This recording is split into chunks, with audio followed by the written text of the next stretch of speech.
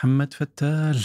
يا هلا زان بيهمني أعرف بالدرجة الأولى أنت شو اللي فوتك على مجال ال creator economy بالبداية تزامنا مع آه، نهضة يوتيوب لنقول؟ آه، عم نحكي نحن عام 2008 2009 آه، فقلت تعرف في هذا الشيء يوتيوب. وكان الفكرة كنت اشوفها لما أدخل على يوتيوب وقتها إنه هل فيديو عم بجيب ألف مشاهدة؟ يعني هذا صح الناس تعودوا على الملايين وهيك بس حتى ال 10000 مشاهدة كان شغلة كبيرة آه يا إنه تخيل أنت بغرفة في 10000 واحد عم بيقعدوا وعم بيتابعوك. فأم like خليني أصنع فيديوهات كنت أصنع فيديوهات علاقة بال gaming فيديوهات ترفيهية.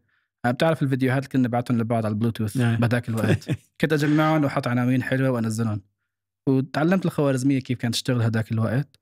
وفيديوهات من فيديوهاتي صار يضربوا فوق ال ألف مشاهدة واحد منهم وصل مليون مشاهدة. wow. ف I was like wow. يعني الموضوع مو صعب كتير. فلما شفتها هيك قلت تعرف يعني في شغلة هون بس ما كان في أي فلوس. آه، فضليت عم بعملها. ففكرت بوقتها طيب أنا خلص آه، هلأ قبلت بالجامعة رايح على الجامعة كيف ممكن أقدر أغطي مصروفي؟ يعني كثير من اصحابي لما يغطوا مصروفهم بروحوا بيشتغلوا بقهوة بيشتغلوا بأماكن معينة بعد دوام الجامعة ليقدروا يجيبوا مثلا ألف دولار يغطوا فيها الأجار مع الأكل وهيك. فأنا قلت لأ خليني أشوف طريقة تانية. صرت أروح الناس قالوا شوفوا أنتم ما عم تستعملوا اليوتيوب وقتها. إيش رأيكم تعطوني 300 دولار؟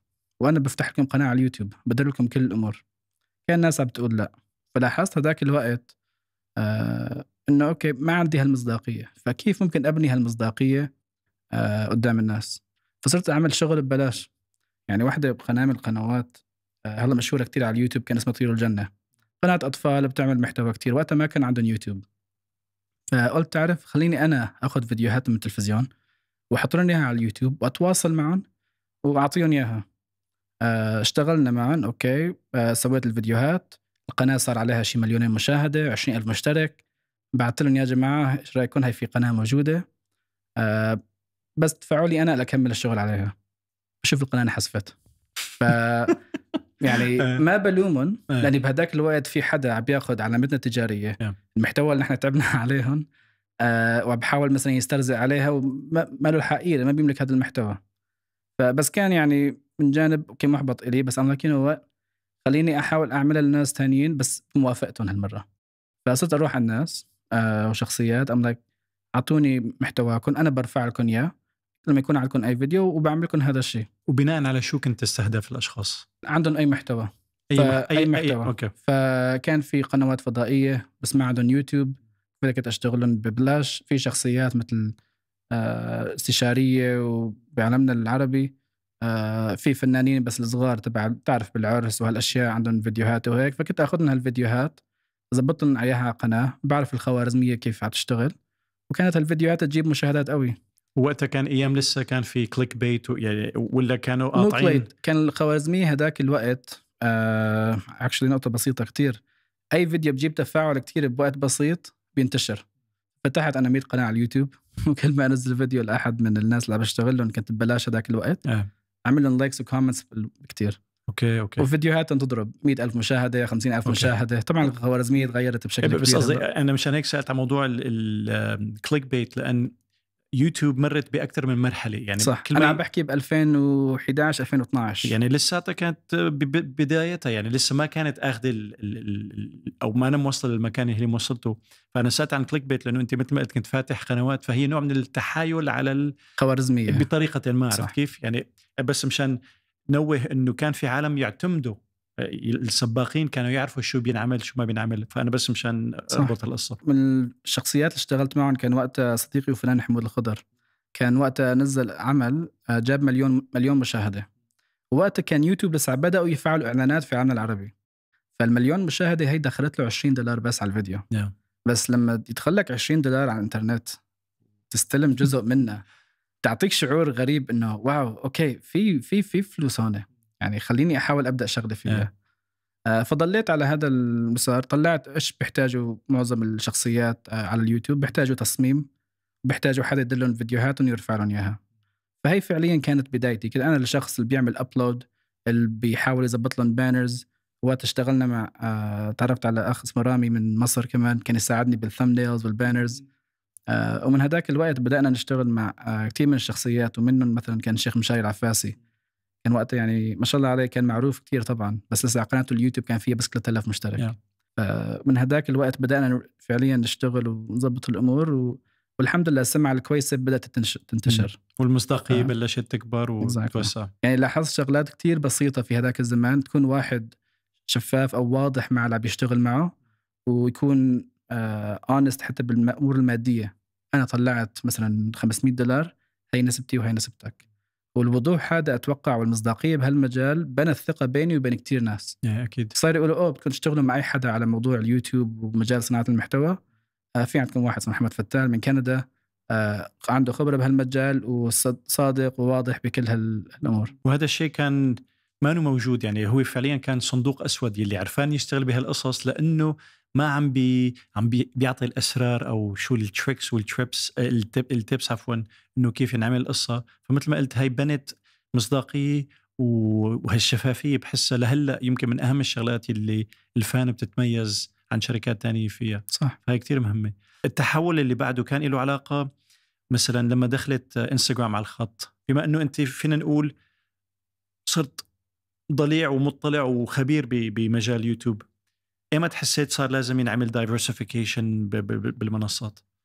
أتوقع اللي لاحظته بهداك الوقت انه okay المشاهدات حلوة بس الدخل كان يجي على اليوتيوب بهداك الوقت ما كان هال هالدخل بس اللي خلاني ألاحظ انه واحد يستمر فعليا بهذا المجال آه لما تفكر بالإعلام كيف تغير على مدار السنين كان وقتها بتذكر بنكون نحن بال... كنت بالسعودية وقتها ونفتح ام بي سي 2 وإيش طلع ما فيلم طلع خلص بنتابعه آه.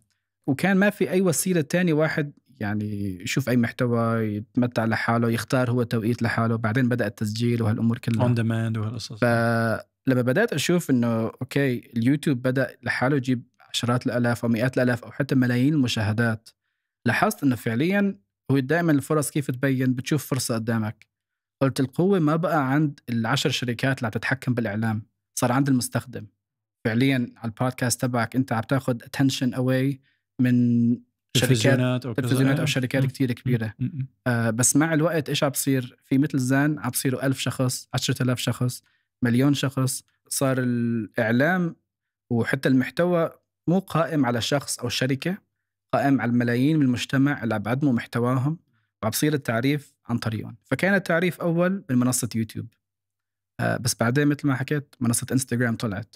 بس أنا كان دائما تركيزي بهذاك الوقت إنه صناعة المحتوى كان مكلف كتير والناس اللي ما بتعرفه من زمان كان لو القناة الفضائية ما حتشتري منك العمل هذا ما في أي طريقة تانية تطلع فيها دخل صح. إلا إذا كنت فنان مثلا عن طريق الحفلات وهالأشياء تانية فكان وقتها بطلع okay كيف أنا ممكن أعطي أعطي دخل بديل للشخصيات صناع المحتوى الفنانين أو القنوات آه ليركزوا على على هذا المجال فإنستغرام ما قدر يطلع دخل إلا بعد لما أجت الشركات حابه تعلن إعلانات مع صناع المحتوى هون. أه. أه.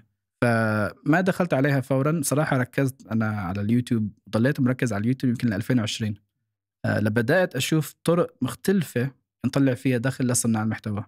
ونفس الشيء بالنسبة لتيك توك لأنه كمان تيك توك كمان كتوقيت له علاقة بالكورونا. يعني بحس بفترة كورونا صنعت من عالم كتير ما كان بباله موضوع صناعة المحتوى. يعني صاروا بين ليلة وضحاها طبعا امبارح ما كنا نعرف هذا الشخص صار من أهم الشخصيات. صح. شو برأيك أهم تحول صار؟ لأنه يوتيوب كانت هي لنقول الأقوى أو الوحيدة على الساحة. لبعد ما اجى تيك توك حتى يوتيوب اضطرت تفوت بمجال ال shorts آه، مشان ياخذوا ال market share آه، شو أهم تغير صار بسبب تيك توك أو بسبب الشورت مقابل اللونج فورم؟ هو التغير ما كان بسبب المنصات ولكن بسبب دخول المعلنين بالإعلان مباشر مع صناع المحتوى. فالوقت المصدر الوحيد كان لو تبيع محتواك للفضائيات أو المنصات الكبيرة. بعدين صار okay يوتيوب عم دخلك على المليون مشاهدة تقريبا ألف دولار. آه بس دخل مو كافي. البدء صار الشركات عم تقول أنا بدي أشتغل مع صناع محتوى بس بدي إياهم يطلعوا لي أكبر عدد من المشاهدات. فيوتيوب مشكلته الموضوع مو سهل. كيف عندنا هلا هون؟ التصوير في عدد كاميرات تحتاج تحط جهد كبير. مو كل حدا عنده الإمكانية. اجت إنستغرام سهلت علينا موضوع الصور. صارت تحط لنا filters صارت أكثر من شغلة. اجى تيك توك ب 2020 2019 صار تنزل فيديو يوم الثاني صار عنده مليون مشاهدة. والفيديو هذا ممكن هلا عم نحكي بصور شغلة هيك على السريع وبنزلها. فهل عدد المشاهدات الكبير خلى الشركات تقول واو؟ صار في طريقة أرخص لي من ما أحط إعلانات على قناة فضائية ورح تكلفني ملايين الدولارات أو أرخص لي مما أحط إعلان حتى على صانع محتوى على اليوتيوب لأني تكلفة المشاهدات اللي عم بتجي يعني مكلفة. ممكن أشتغل مع حدا على تيك توك. آه، ممكن الفيديو هذا ما بكلفه أي شيء. فلو أعطيته مثلا ألف دولار ممكن ينبسط عليها. وأنا بالأخير هال دولار ممكن جابت لي مليون مشاهدة. في البداية صرنا نقنع الشركات يا جماعة في شيء اسمه تيك توك. تعالوا سووا فيهم إعلانات. قالوا لا لا تيك توك هذا كله بس للرقص. له هي حسب الخوارزمية اللي عم تعرض لك إياها.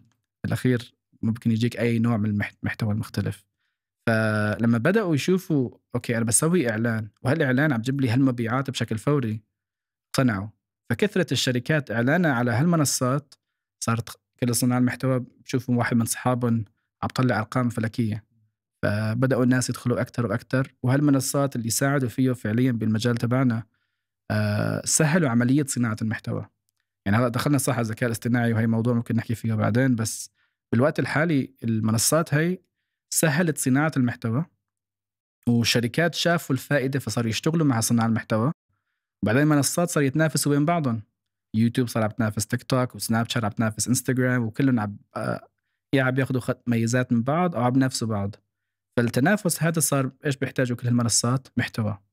فهون عملت ثغرة في هالمجال تبعنا وصار فعليا اللي توقعته من 2015 2013 آه، هو الحقيقة. وإن إحنا صرنا عم نتابع محتوى يا بنعرض على منصات ال social media يا ممكن على نتفليكس وهالمنصات وصارت الفضائيات وكلهم عم ينتجوا محتوى بقول لك social first آه وبدأنا نشوف قنوات أخبارية عم تطلع فعليا social first مو TV first ف أتوقع كونك جزء كبير من الأساسيات المجال هذا وساعدنا كثير صناع محتوى يطلعوا فلوس أعطانا اطلاع كبير بهذا المجال بشكل عام. في عالم بتفضل ال long form وفي عالم بتفضل بتفضل ال short form بما يتعلق بهالاختلاف أه، شو انطباعك عن اللي عم بيحاولوا يعملوه إن كان سناب شات أو تيك توك واضح هلأ صاروا عم بيشجعوا ويدعموا أه، المحتوى الأطول. أه، برأيك هذا عم عم بيمشي عكس التيار ولا لابد يصير مشان يصير نوع من ال... يعني مثل ما يوتيوب حاربت تيك توك لل short form فهل هي رد من تيك توك to go for market share على اليوتيوب ولا شو رأيك بما يتعلق بالاختلاف بين ال short وال long form؟ أتوقع بالأخير لأن نعرف كل في المنصات انه تضل أنت عليها. فلما المنصة تفكر كيف ممكن أحافظ عليك باكثر وقت بدي أعطيك dopamine hits كل عشر ثواني. فللأسف التصفح على المحتوى أو واحد يتابع فيديو طويل آه، صار غير سلوكيات المجتمع خصوصا الجيل الجديد. آه، يعني لو تابع مثلا الأفلام القديمة okay شو ثلاث أربع ساعات لحتى توصل للقصة. بدي نعم. أعرف أنا بخمس دقائق واحيانا صار في عندنا times two speed فنحن تعودنا نشوف محتوى بسرعة. نعم. فالمنصات هدفها تحافظ أنت تضل عليها ما تطلع برا. فعم تحاول تعطيك محتوى بأسرع قدر ممكن. ولكن اللي صار أتوقع مع كثر المحتوى البسيط ال connection بين المحتوى وبين المستخدم أو المتابع بدأ يختفي. فلذلك بدأنا نشوف مثلا حلقة بودكاست ثلاث ساعات. آه، مع الأستاذ ياسر وعبد الرحمن من ثمانية آه، جاب فوق ال 120 مليون مشاهده صار الناس حتى تسمع أو تتابع محتوى بطريقة مختلفة. فأتوقع كل وقت له محتوى معين okay لما أنا أكون مثلا آه عم بنتظر حدا خمس دقائق okay بفتح لي الأكس أو بفتح تيك توك أو بفتح إنستغرام على السريع بشوف إيش ممكن يطلع. okay أنا تابعت محتوى بوقت كتير. بس في أوقات يمكن لمنصه يوتيوب مختلفة. آه ف بالأخير أتوقع هي النجاح المنصة لو بتقدر تعطي المستخدم تبعها كل هال experiences محتوى صوتي محتوى فيديو طويل ومحتوى شورت وهذا رح تشوفه كلها بحاول على يعني تيك توك حاليا صح محتواهم قصير. بس رح تبدأ تشوف تيك توكس بعشر دقائق وتيك توك بدأت محتوى حدا عم بنزل تيك توك مدته فوق الدقيقة والناس لسه عم بتتابعه انشر أكثر يعني بالأخير هدف كل منصة تحافظ على المستخدم بقدر المستطاع. فحسب التغيرات ال human behavior أو طبع الشخص نفسه رح تتغير حتى أسلوب المنصات كمان. إجباري إيه. بتحس إنه فكرنا إنه خلص الطويل أو الفيديو الطويل خلصت آه، خبزته وإجا دور القصير بس واضح القديم بيصير جديد وجديد بيصير قديم ففي تحولات ما عاد الواحد عم يعرف يلحق إنه لوين رايح أو يتوقع لوين رايح الأمور. طيب إذا بدك تنصح حدا حابب يفوت على مجال صناعة المحتوى تنصحه يبلش shorts أو long ولا كيف أنت بتقرر أو كيف تنصح بناء على شو يصير انتقاء؟ وهل ممكن يعمل الاثنين سوا ولا بيتضاربوا؟ أتوقع هي السر إنه عندك إمكانية تحافظ أنت على المستمع لفترة أطول. كل ما قدرت أكتر كل ما الخوارزميات أو المنصات نفسهم رح تدعمك. فحاليا ما في كتير ناس عندهم الإمكانية أو الأسلوب ليحافظوا على انتباه حدا. كثير أوقات مثلا تكون عم تحكي مع شخص معين. وبتلاحظ أنت بالحديث عم تحكي معه بدأ يتهاوب بدأ يطلع يمين يسار بدأ يطلع على ساعته. فأتوقع إنه لما واحد ينتبه ويتعلم أوكي إيش هي الأشياء اللي ممكن أحكيها أحافظ على الواحد؟ يعني كتير فيديوهات على اليوتيوب تحكي لك إنه رح أحكي لكم خمس أشياء غيرت حياتي وآخر واحد أهم واحد منه. مشان يخلوك متابع مشان يخلوك تتابعه. فرح تشوف أساليب كتير عم بتصير ورواية القصص نوع فن آه لازم واحد يعني يحاول يتعلمه ليقدر يحافظ على المتابع فهي فعليا ال experimenting stage أو البداية ابدأ محتوى قصير خليك تدخل في المجال. حتى الناس أتوقع الموضوع سهل. أتوقع ممكن كل شخص فعليا عم يرفع الجوال عم بحاول يصور حاله. يعيد اللقطة هيك 30 مرة. آه لحتى فعليا آه. نزل نزل آه. محتوى فالناس بتظن الموضوع سهل كتير بس ما يعتبر بهالسهولة. فهي الفكرة إنه ابدأ بأسهل شيء. صور محتوى بسيط حاول نزله وتفاعل فيه. وبعدين كل ما قدرت حاول طول وطول طول الموضوع أكثر لأني بالأخير لازم تعرف أنت ليش عم تقدم هذا المحتوى. إذا في عندك قيمه عم تحاول تقدمها للمجتمع للأسف معظم المحتوى اللي عم نتابعه على الفيديوهات القصيرة بحاول أقول لك هلأ أتذكر آخر عشر فيديوهات شفتهم. ما حتعرف بس بقول لك تذكر البودكاست اللي سمعته آه عن آخر واحد. رح تقول لي بتعرف إيش؟ رح تعطيني مواضيع جواته. ولكن بالفيديوهات القصيرة ما رح تعرف الأسامي. يعني صار معي موقف حرج كنت ب LA ب creator event وشفت صناع محتوى يعني عندهم فوق ال 10 مليون مشهورين على التيك توك كانت عائلة عربية. آه بس نسيت اسمهم. طب بحاول أدور على اسمهم فتحت التطبيق كتبت okay Arab Family US هالأشياء لحتى عرفت اسم العيلة وحكيت معهم. فللأسف كتر المحتوى على التيك توك رح تحس أنت بشعور المشاهد أو إنه والله اجاني مئة ألف مشاهدة. بس بدك تتذكر أنت اللي عم تتابعك كيف بيكون بأي وضعية. بيكون ماسك الجوال swipe swipe. فاذا فعليا عندك ال passion تدخل في هذا المجال حاول افهم كيف ممكن تحافظ على المتابع وتقدم له قيمة لتحافظ عليه. آه هاي هي أهم نقطة أصلا بسر كل هالمهنه آه العالم صارت عم تفضل البطء يعني ما عم بقول البطء الممل بس الشيء اللي بيلامسك بطريقة أعمق من إنه يكون موضوع سطحي. لاحظت هالشيء أو هل حاسس إنه صناع المحتوى ماشيين بخط معين لازم يجلسوا فيه أو يجوا على مكان تاني؟ كل شيء كتر منه بالأخير قيمته بتنزل. فأتوقع ال fast cut content هذا انتشر كتير. ليش؟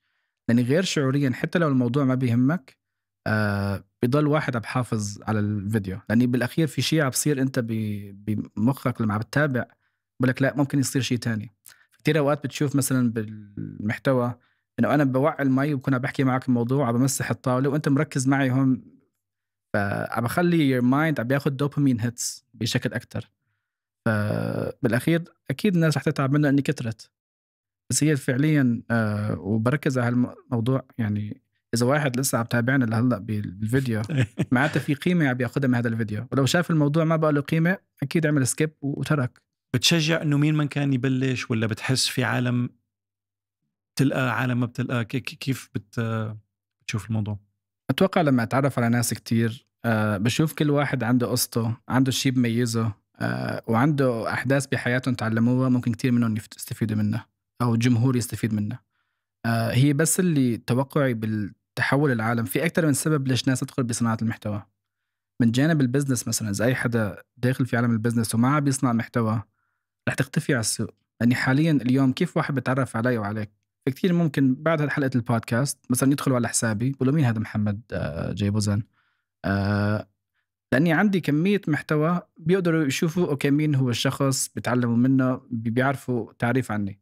لو ما كان عندي أي social presence كل هال traffic اللي أجت رح تختفي وما حتفيد ال business تبعتنا بالأخير. آه بنفس الوقت لما تتعرف على أي حدا اليوم بقول لك اعطيني الانستغرام تبعك أو اعطيني اللينكد ان تبعك صاير هي طريقة التواصل.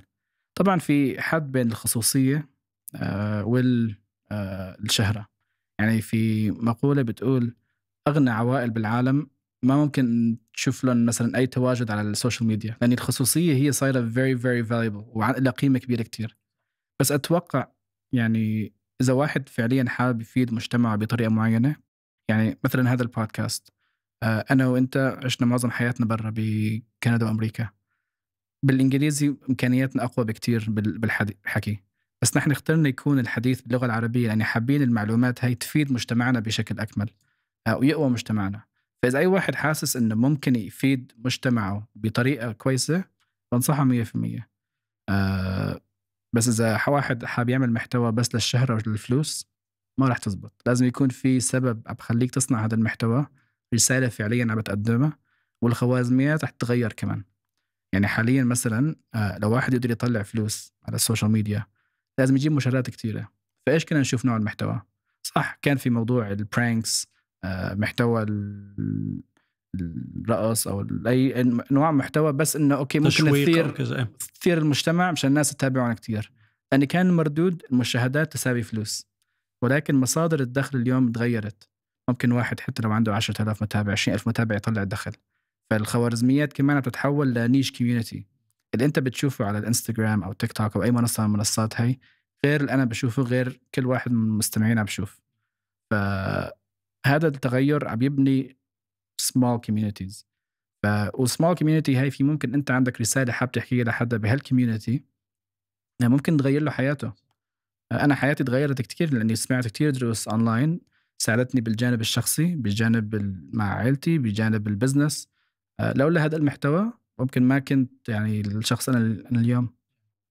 ففي عالم يعني مضيء أو إيجابي بالمجال هذا كله. بعرف كثير ناس تحكي على the dark side of social media.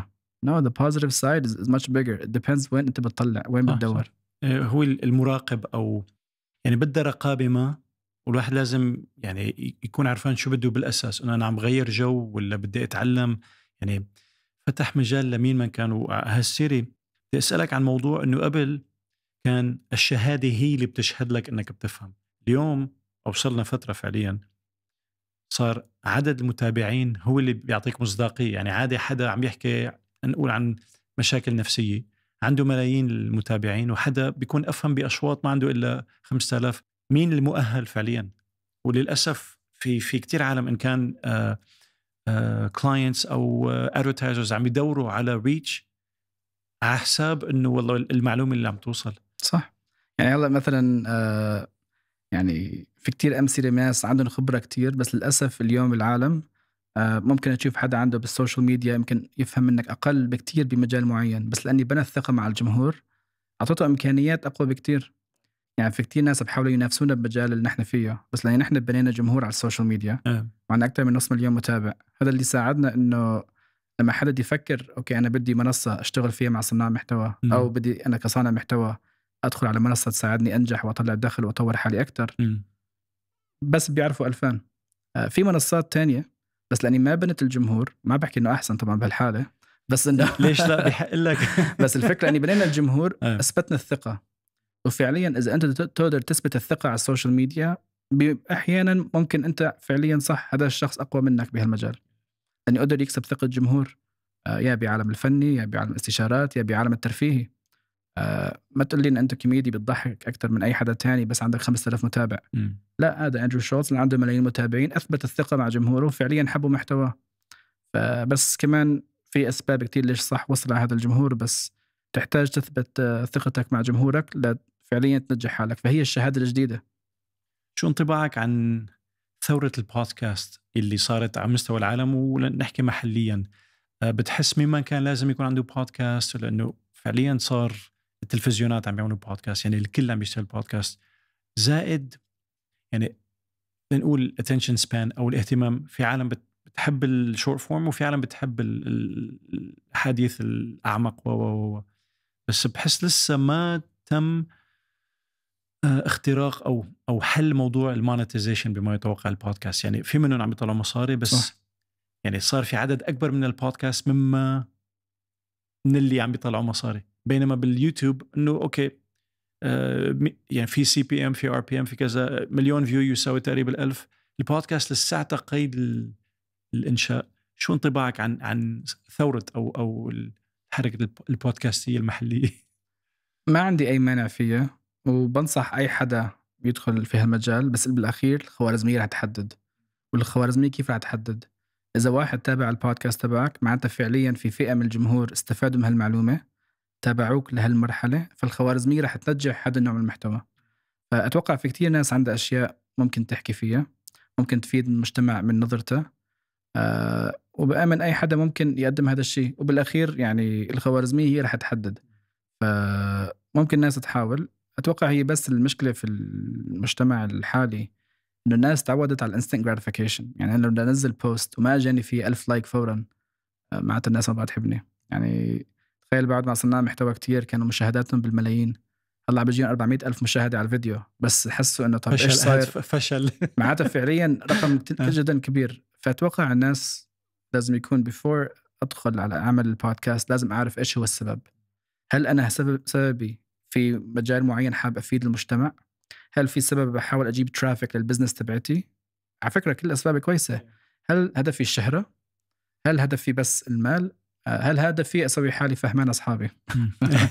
يعني واحد يكون بس عرفان هدفه ويركز يركز عليه. آه، آه، فهمت عليك. فبالعكس صايرة آلة تسويقية. يعني وين ممكن يجي حدا يسمعك لساعة؟ آه، بهذا العالم. لو أنت فعليا قدرت تكسب الجمهور وتحافظ عليهم. رح تنجح. وأتوقع شيء جدا مهم واحد بالأخير لازم يعرف إنه في هذا الشخص عم يأخذ وقت من يومه ليسمعك. ف you have تقدم لهم أحسن أحسن قيمة. بيهمني أعرف ال ال أهم مراحل الانت ال- الانتقالية ببناء شركة الفان واضح من فترة كانت مشهورة ك creator agency أكثر وتحولت يعني فتوا بالشيلات وكسرتوا الدنيا. بيهمني أعرف شو ال شو ال ال النقط المهمه يعني بحس هدول كانوا مفترق طرق من من أول ما انشئت لهلأ. ممكن أرجع للقصة شوي لما حكيت إنه ب 2015 لما بدأنا نشتغل مع صناع محتوى على منصة اليوتيوب لاحظت وقتها إنه الدخل ما كان عم بكفي هالصناع محتوى. فأول شيء عملته قلت أوكي أنا هلأ خلصت جامعة وماجستير آه، معظم صناع المحتوى اللي عم بشتغل معهم عايشين بالدول الخليج وبالإمارات تحديدا. فخليني أنتقل وأحاول أبني business جديدة تركز على هذا الشيء. من كندا لدبي. من كندا لدبي. فهي كان وقتها إنه شفت فرصة بالإمارات صراحة وأشياء كثير عم تتطور وأنا مع يعني عشت هنيك. فلما رجعت شفت التغيرات اللي صارت بفترة بسيطة. Like wow هذا التوجه اللي رايحين عليه بشكل كبير. آه لازم واحد يكون هون ليكون جزء من ال growth آه هذا بشكل عام. بنفس الوقت الدخل ما كان كافي على المنصات فقلت إيش هو الدخل الثاني فوقتها آه جيت على الإمارات آه عملت جولة استثمارية لأبدأ أسس الشركة بالإمارات ودخلوا معي مستثمرين اثنين. آه ومنهم منهم كان مستثمرين EQ2 Ventures التابعين لهم عائلة الشويري المختصين بمجال الإعلانات والدعاية. وعندهم علاقات جدا قوية وتاريخهم جدا كبير في هذا المجال ومجال الميديا بشكل عام. معظم الإعلانات الناس بتعرفها كانت عن طريقهم خلال آخر 30 سنة. فهذا أعطاني نظرة إنه أوكي الدخل ممكن أساعد فيه لصناعه المحتوى ليصنعوا محتوى أكثر هو الإعلانات. بدأت بذاك الوقت أشوف كيف ممكن الفرص نجيب فيه إعلانات لصناع المحتوى. اشتغلنا مع شركات يعني كان صانع محتوى مثلا يعني كانوا ما يصدقوا الأرقام اللي بدأت تجيهم. يعني كان في صناع محتوى دخله مثلا بالسنة 30 ألف دولار بدأت من هذيك المرحلة تصير 200 ألف دولار وهي كلها عن طريق الإعلانات. فهذا النوع خلى يعني سمعتنا نحن في 2000 بدأت تتطور بشكل كبير. وبنفس الوقت صار okay ألفان منصة على اليوتيوب بتساعد صناع المحتوى الفنانين وكل هالشخصيات آه، والمعلنين يوصلوا لهالصناع المحتوى. فبدأت معظم الناس تقول والله في فلوس كثيره بال- باليوتيوب. فبدا الناس تحكي عنه آه، كان عندنا واحد من صناع المحتوى عمل فيديو إنه راح اشترى سيارة فراري. لما انتشر هذا الفيديو بشعار 2000 كان موجود على قناته.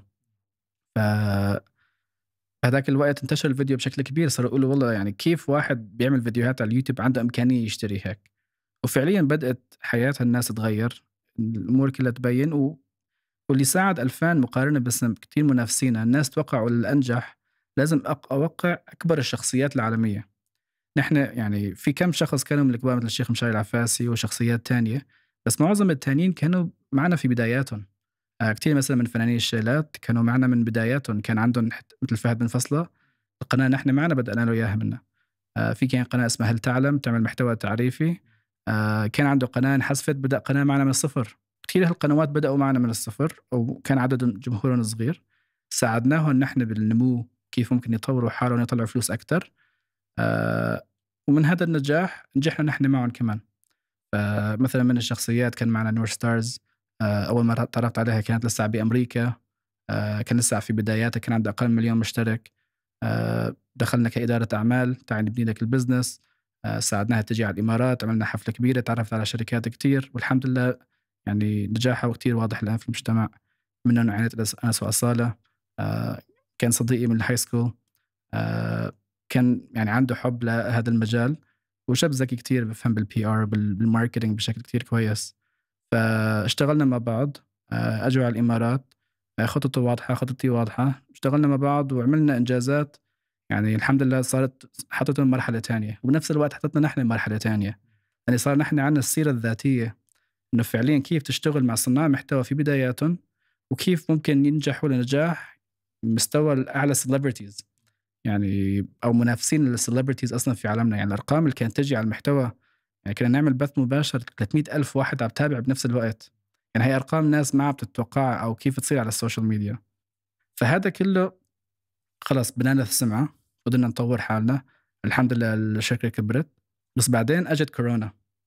آه بكورونا كتير أشياء المجتمع بدأت تخف. آه صار كل شيء from home الشركات لاحظوا إمكانيات صناع المحتوى بهذاك الوقت. آه إنه والله نحن بدنا نعمل production ما عم نقدر نصور. آه بس في ناس قاعدين في بيتها ممكن أبعث لهم المنتج يصوروه من غرفه النوم ويجيب لي ملايين مشاهدات. فال industry كلها تغيرت بشكل عام. وهداك الوقت ب 2020 تقريبا 2021 بداياته تغيرت نظرتي لمجال صناعة المحتوى. وأتوقع هي كانت أكبر نقلة نوعية لنا.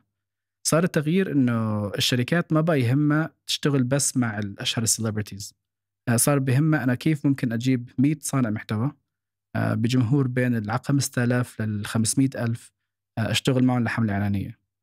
آه، صار كمان المنصات ما بقى بس يوتيوب دخلت كثير منصات على الخط سناب شات تيك توك إنستغرام سبوتيفاي و20 وحدة ثانية موجودين في المجال. وعم يزدادوا كل يوم. وعم يزدادوا كل يوم. فصاروا كيف ممكن okay نحن كمان يجينا محتوى. فشفت التحدي هون آه مثلا نتطور فكان أول تحدي okay.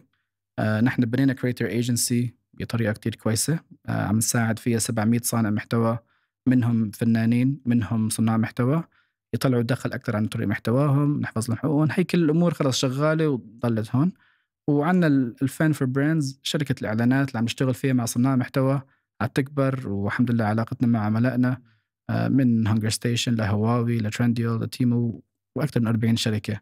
العلاقات هاي حافظنا عليها. بس صار التحدي كيف آخذ أنجزناه نحن مع هال 700 آه، صانع محتوى ونعمله مع مليون صانع محتوى. أنا في كثير شغلة الناس ما بتعرفها عني آه، اسم الشركة ألفان. ولما أسستها كان دائما الفكرة إنه كيف لما واحد مثلا كنت بأمريكا وكندا آه، أو كندا يعني تحديدا كنت دائما بكون مثلا بحصه الرياضيات ويحكي ألجبرا.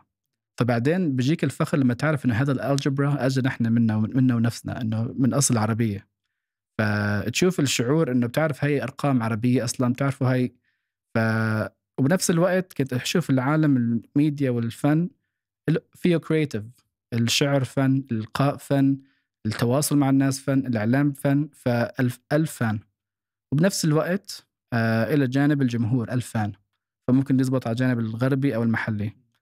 فكان دائما هدفي إنه أوكي الايجنسي هي البناتة جدا قوية في العالم العربي. لكن كيف ممكن واحد يعمل أثر في العالم كله بشكل عام؟ آه بمنتج ممكن حدا في بريطانيا حدا في أمريكا حدا في إندونيسيا آه يستعمل المنصة تبعتنا. فهي كانت النقلة النوعية. قلت خليني أحول هلا من agency ل technology company وهون صراحة شفت الأثر والإمكانيات اللي ممكن نعملها. والتغيير بدل ما يكون بس 700 صانع محتوى بشكل يومي عم نساعده يبني حياته يطور حاله يبنوا شركاتهم كيف ممكن أساعد؟ أول تحدي عنا إياه 5000 ثاني تحدي عنا إياه 50000 بعدين 100000 بعدين إن شاء الله على المليون. ف... وهذا بس بصير عن طريق منصة تقنية. فأطلقنا تطبيق. بدأنا فيه كفكرة الفان لينك. تعالوا يا صناع محتوى أنا راح أقدم لكم منصة تجمعوا فيها كل حساباتكم تعطيكم إحصائيات على جمهوركم وبنفس الوقت تفرجي عدد متابعينكم للجمهور. فكان في منصات تانية بتحط حساباتك كل مكان واحد بس نحن ركزنا فيها تكون فائدة لصناع المحتوى. فصار صناع المحتوى يفرجوا بدل ما تحط أنت على الإنستغرام عندك 3 مليون هون مليونين هون الف منصتك في 2000 link هي اللي تفرجيك هالمعلومات. فأطلقنا هالمنصة والحمد لله أكثر من 10000 صانع محتوى سجل عليها. فهذا شو عمل لي؟ أعطانا database نحن قوي من صناع محتوى في عالمنا العربي. أخذنا هالمعلومات للشركات قلنا يا شركات okay أنتم حابين تعملوا إعلانات مع صناع المحتوى. كيف حاليا تكتشفون لاعلاناتكم؟ قالوا بنستعمل أدوات وهالأشياء بس معنا طريقه تواصل لأن إحنا ب 2000 صناع محتوى لما بيستعملوا منصتنا كواجهتهم الرسمية مع جمهورهم آه عنا معلومات عنهم آه عنا نحن أسلوب ال KYC إنه كيف لما تسجل مع البنك بتصور وشك وبطاقتك وهوية أثبتنا هوياتهم آه وعنا أرقامهم. فصار كثرة إعلانات الشركات معنا مع طريق صناع المحتوى. فهون صار الإعلانات بدل ما تجي ل 700 صانع محتوى صار تجي على 1000 2000 صانع محتوى. فهي كان أول نقلة نوعية. آه النوعيه يعني اشتغلنا فيها نحن بعام 2022 تقريبا. آه 2023 2024 صار أوكي. آه كيف ممكن ازود عدد المتابعين؟ هي لأن كثروا المنصات اللي عم تعرض حساباتك كلها بمكان واحد. قلنا كيف ممكن نخلي هالمنصة تبدأ تساعدك كصانع محتوى تطلع فيها دخل أكثر فقلنا okay.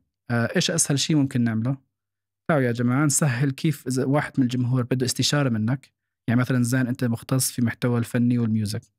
آه وأنا فنان عندي حلم بدي حلم أصير فنان. لو ممكن في طريقة أتواصل معك بس طبعا أكيد كثير بيتواصلوا معك على الانستغرام ما عندك وقت ترد عليهم. فقلنا بهالطريقة خلي واحد يكون واضح مع جمهوره. تعالوا أنا باستشارة ب 100 دولار 200 دولار 300 دولار. تختار ربع ساعة نص ساعة ساعة. وبتحجزها عن طريق ال Apple Pay فسهلنا آلية التواصل للجمهور خصوصا مع صناع محتوى ال professional اللي عم بقدموا خدمات. هدول بكون عادة جمهورهم مو كبير ولكن جمهورهم بمراحل آه بدأت المصداقية والثقة عم تنبنى مع الجمهور. فوالله نجحت. في عنا صناع محتوى صاروا يطلعوا آلاف الدولارات. طلعنا لهم فوق ال ألف آه، دولار خلال كم شهر. فقلنا والله حلو. طب كيف ممكن نطور هذا الشيء لأن هذا ساعدنا نجيب عدد صناع محتوى اليوم. عم نعرف ثقتهم وإمكانياتهم مع جمهورهم. آه، صرنا صار يبيعوا منتجات رقمية صار يجيهم دعم من الجمهور. فقلنا okay جدا ممتاز. كيف ممكن أفيد صناع محتوى كتير تانيين لأني هدول مو كل حدا بس عم بيقدر يجي دخل عن طريق الجمهور. آه قلنا okay أنت مثلا زان إيش بتحب؟ يعني أنا مثلا هاي ال brand واثق منه وعم بستعمله صار لي فترة وكثير من اصحابي يسألوني عليها وببعث لهم رابط. كل ما حدا يشتري عن طريقي بيطلع لي نسبة. فكثير كانوا صناع محتوى غير متقبلين هذا الشيء إنه طب أنا ليش آه، أشتغل لمعلن أروج له وبالأخير يعطيني نسبة؟ ولكن نحن عملناها بطريقة مسميها كولكشن آه، وين أنت ممكن ما ضروري تحكي على المنتج. بالأخير الناس عم تجي على واجهتك وهي واجهة ألفان اللي بتربط كل حساباتك بمكان واحد. نضيف هالمنتجات عليها. اللي هيك هيك أنت بتلبسها بتستخدمها بت وهي المصداقية واضحة يعني أنت أصلا بكل فيديوهاتك مبين عم تستعملها. إيه. فساعدنا تقريبا 303 صناع محتوى يطلعوا قريب ال 4 مليون دولار عن طريق ال referring لجمهورهم لمنتجات هن فعليا بيستعملوها بيلبسوها وبيحبوها. بشكل تلقائي يعني ما مضطرين يدعوا إنه أنا مثلا أطيب مي هي الماركة الفلانية exactly. أنت ما ضروري تروج إذا م. فعليا بتسق بمنتج أكيد تحكي عنه حتى لو ما حدا دفع لك. فهون خلص صير أنت الواجهة تدفع لهذا الشيء. فهذا صار يعطينا نظرة إنه واو في صناع محتوى عم بيدخلوا ل 2000 لحالهم عم بيشتركوا بهالخدمات وعم بيطلعوا فلوس بشكل مباشر لحالهم. وصار الفائدة اليوم بدل ما نحن نفيد بس 700 صانع محتوى نوصل الحاجز 1500 آه وهي هلأ أطلقنا تطبيق آه صار بدل بس موقع على النت صار عم بصير تطبيق. فأتوقع النقله النوعية هلأ هي نحن في المرحلة التأسيس. آه عم نعمل rebrand آه بسيط رح يطلع آه بس الفكرة كلها بشكل عام إنه okay يا صناع محتوى.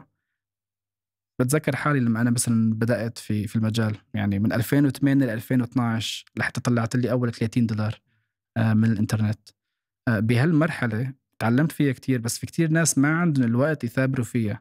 الريجكشن اللي حصلت عليه كل هالأمور اللي حصلت عليها. عم بشتغل لك ببلاش وما بدك يعني كان نظرية يعني بدفع لك مصاري خليني أشتغل لك. يعني كان غريبة صراحة وقتها. ف عم ببني الأدوات مشان أي حدا كان عنده نفس الحلم لما كان عندي أنا 18 سنة وحابب يعمل شيء بإمكانه يسوي واجهة الفان تبعته آه، منصة مجانية هدفها تساعدك تطلع دخل ونحن بس نجاحك هو نجاحنا. فكل ما أنت طلعت دخل نحن نسبتنا جدا بسيطة تتراوح بين 3 ل 5% عن طريق الخدمات اللي بتقدمها. بس هيك قدرنا نقدم خدمات لكتير ناس. لسانا بمرحلة ال transition تروح من agency ل technology مو شيء سهل. بس أتوقع يعني في series لسبوتيفاي نزلت على نتفلكس آه ال series هاي ما بدي أحرقها لكتير ناس بس إذا رح أحرقها اعملوا skip بس دقيقه يا جماعة.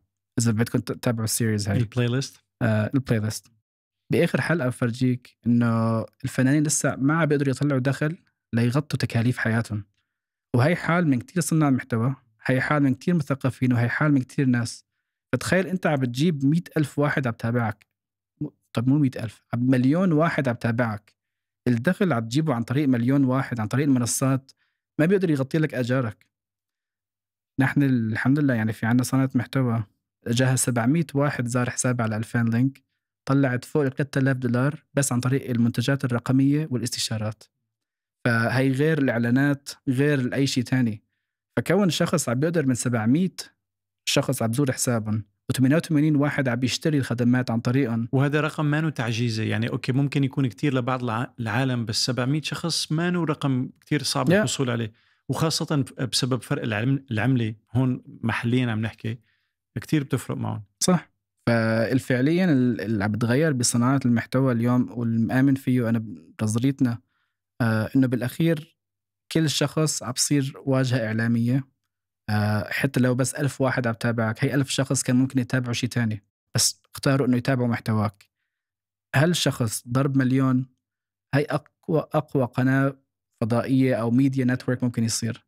وهذا ال network كله عم بصير عن طريق ألفان. فنحن بنينا منصة ممكن اللي عنده يعني أحلى شيء بشوف عليها أحيانا بدخل على ال dashboard تبعتنا بشوف واحد عمل sign up وعنده بس one follower بيكون هو. بيكون حتى أمه. آه بتدعمه هيك. بس هذا هو الشعور الحلو إنه صار الناس بتفكر أنا بدي أصير صانع محتوى يلا أنضم على 2000 احمل التطبيق sign up أجهز حسابي.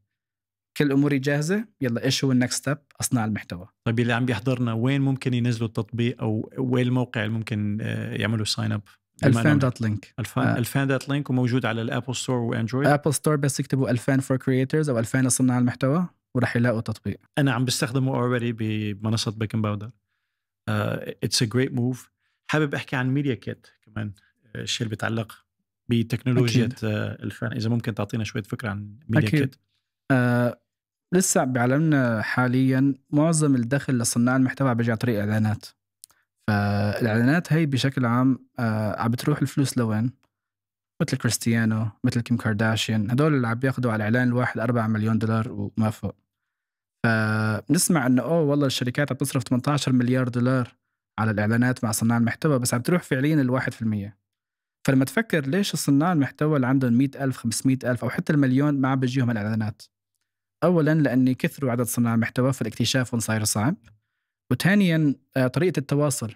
لأني لو يحط الصانع المحتوى حاله باتجاه العميل العميل هذا عم بحاول يتواصل مع ألف شخص ليقدر يسكر إعلان مع 100 واحد مشان يقدمه للمديرة ويسكر الإعلان بأسرع وقت. فلما يتواصل معك المعلن نحن عملنا منصة ميزتها بتحط إسعارك عليها كصانع محتوى. أنا بضيف سعري على يوتيوب انستغرام تيك توك اللي بتحبه. بتضيف حملاتك من قبل. السابقة آه اللي عملتها. حتى لو ما عملت حملت من قبل ما في مشكلة. وعدد متابعينك موجود. فشو بصير هون؟ ال media kit دائما جاهزة برابط واحد. هذا الرابط ممكن تبعته لأي حدا. ممكن يشوف الإحصائيات ويتفق معك أو ممكن حتى لو حاب عن طريق الأبل باي بضغطه زر واحد يشتغل معك فيها. فشو هون بيساعد؟ الفلوس تنحجز عنا هون لسبع أيام لحتى الإعلان يخلص. بهالوقت عنده فرصة العميل يشتكي أو صانع المحتوى يشتكي. آه، وإذا تمت هالفترة ممكن بعدين صانع المحتوى يسحب هالفلوس. فهون شو عملنا؟ سهلنا الثقة بين الشركة اللي عم تكتشفك كصانع محتوى. تخيل لأول مرة يعني تخيل أنت تشوف حدا على النت تقول والله هذا الشخص رهيب بس بدي احول له 2000 دولار. طيب أنا هذا الشخص لو هرب الفلوس شو بقدر اعمل؟ ما في شيء بيضمن لي إنه راح يقدم الحملة وكذا فإذا العميل هذا رجع على مديره وقال له والله دفعت لواحد 2000 واختفى إيش راح يصير؟ راح يتمشى من شغله فعملنا هي المنصة بهالطريقة اللي حلو اللي ساعدنا فيه ولقينا فائده منها صارت نحن عندنا أسعار صناع المحتوى من كتير فئات فلما يجي العميل بيقول لي أنا حابب أعمل إعلان نعرف نقول له هذا صانع المحتوى سعره above average ولا under average. آه وبهالطريقة صارت ثقه المعلن معنا أكثر فقدرنا نحن هدول الناس اللي حاطين أسعارهم في الميديا كيت تجيب إعلانات أكثر فنحن هي كل فكرتنا بالأخير بدنا نسهل آلية التواصل الشركة مع صانع المحتوى والجمهور مع صانع المحتوى لأن كل ما سهلنا هالطريقة كل ما كثر عدد صناع المحتوى فعليا طلعوا دخل. والسؤال أنت كتوجه بتحس إنه المعلنين ميالين يدفعوا لنقول ل 50 صانع محتوى حتى لو budget أقل؟ من أنه يدفعوا لحدا كتير مشهور آه، مبلغ عالي ولا في هيك وفي هيك؟ هي pyramid بجيبوا مثلا أو نصيحتنا دائما للشركات إنه جيبوا okay خمسة كبار ابنوا فيهم مصداقيه يحكوا رسالتكم يبنوا هوية الشركة آه، يعطوا ال emotion اللي عم تحكوا عليه. بعدين ابدأ ادخل بكبر الأصغر أصغر أصغر وبالأخير جيب صغار كتير. يعني الصغار كتير ممكن يعني صغرا مو بقيمتهم بعدد بس المتابعين. يعني تكلفة الإعلان تكون أرخص معهم لسه في بداياتهم بس اللي بيقدموه هن إيش؟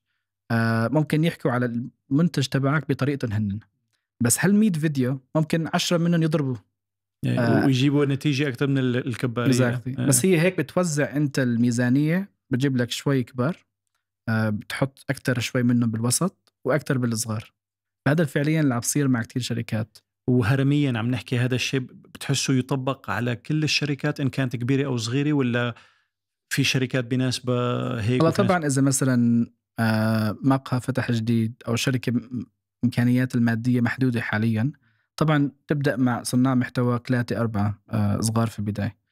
آه، وإذا صناع محتوى لسه يعني عدد متابعينهم أقل بكتير في نوعين من الإعلانات ممكن يبداوا يثبتوا إمكانياتهم مع الشركات.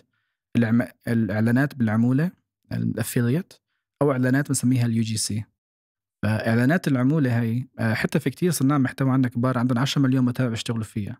لأن إذا أنا كصانع محتوى واثق إنه هذا العميل عم بيعطيني نسبة 15% من مبيعاته وكل شيء ببيع رح يطلع لي 15% وبالأخير أنا عارفان يعني ربحية العميل هذا 30% لأن أوكي خليني أنا إذا واثق منه طب اشتغل لي بالعمولة.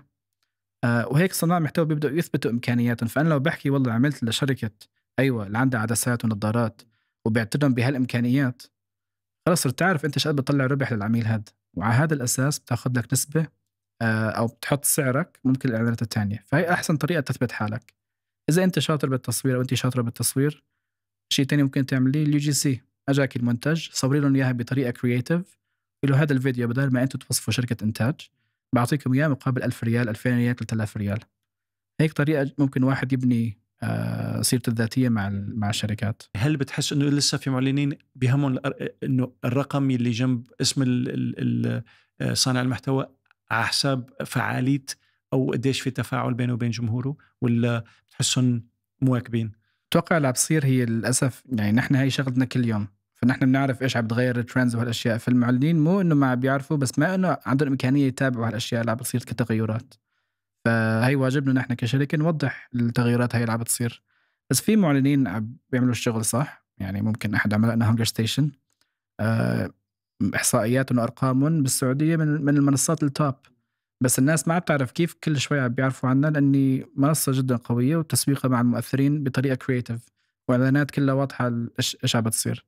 في إعلانات شركات عم بيشتغلوا مع المشاهير لاني عندهم بس أرقام. الرقم مثل ما حكيت إمكانياته كتير خفت.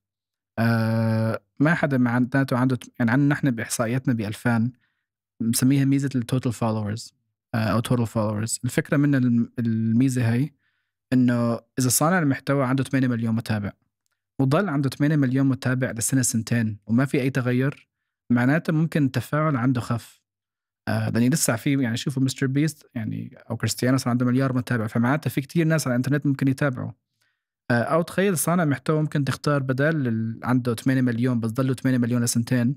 صانع محتوى كان عنده نص مليون متابع أو عنده نص مليون متابع وزاد هذا العدد لمليونين خلال سنة. مستعد أدفع أكثر لهذا الصانع المحتوى مقارنة باللي عندهم 8 مليون.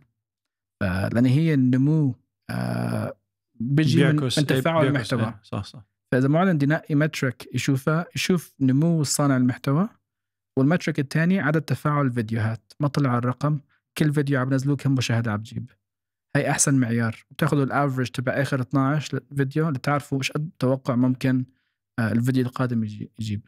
قد إيه بتحس مهم الواحد اللي عم بينزل على أكثر من منصة؟ لأنه واضح يقال it's not this or that it's this and.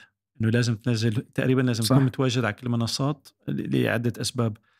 قديش مهم الواحد يحكي لغة كل منصة؟ لأنه هلأ مع إنه okay انستغرام وتيك توك بيشبهوا بعض بكتير قصص حتى Shorts وكذا بس بيبقى في شيء كل منصة إلى بصمة أو إلى خصوصياتها. آه، كيف بت تنصح أو أو انه الواحد يتعرف على كل منصة وتفاصيلها؟ هو أول شيء الناس كثير ما عم تعملها لازم تنزل على كل المنصات. يعني المنصات اليوم هي القنوات الفضائية الجديدة. في ناس جمهور فيسبوك في ناس جمهور سناب في ناس جمهور الاكس جمهور يوتيوب تيك توك انستغرام وإلى آخره. فضروري أول شيء تأكد صناع المحتوى عم بنزله بكل مكان. ثاني شيء yes هذا يعتبر ال localization يعني بتلاحظ اليوم على انستغرام الفيديوهات ال polished آه، المبينة رسمية أكثر بتنجح أكثر بكتير. على التيك توك ال authentic الطبيعي اللي كأني واحد طلع بسيارته وعم بيشتكي من مشكلة هدول بينجحوا. آه على إكس مثلا في مواضيع بال business بال finance بالسياسة هدول بينجحوا أكثر بكتير. فكل منصة لها إمكانيات نجاحها وضروري واحد يغير اللغة لكل منصة. لأن بالأخير الخوارزميات هي وحدة. هدفها إذا محتواك بيساعد تحافظ على الجمهور وتخليهم على منصتي أكثر راح أنجح فيديو تبعك. بس المعيار الثاني كيف تجذب هذا الجمهور؟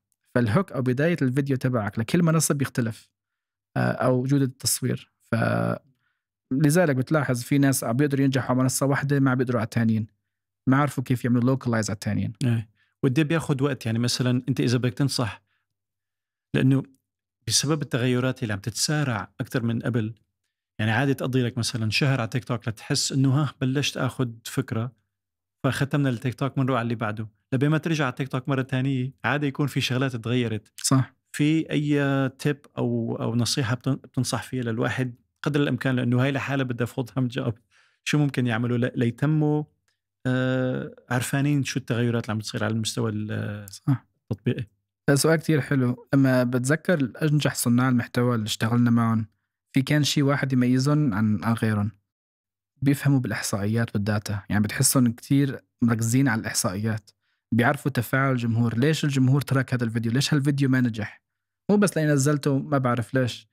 فتعلموا من كل فيديو عملتوه وحاولوا الفيديو الثاني يكون أحسن منه بس 1% أو 5% بس قولي نبدأ بس 1% آه وبنفس الوقت يشتغلوا مو بس على إنه بعمل محتوى بعمل محتوى لأ شوي شوي. آه بنزل يعني لو لو ممكن أنزل على كل المنصات وأتعلم عليهم. بدل ما أنزل 30 فيديو بالشهر أنزل 10 فيديوهات بالشهر.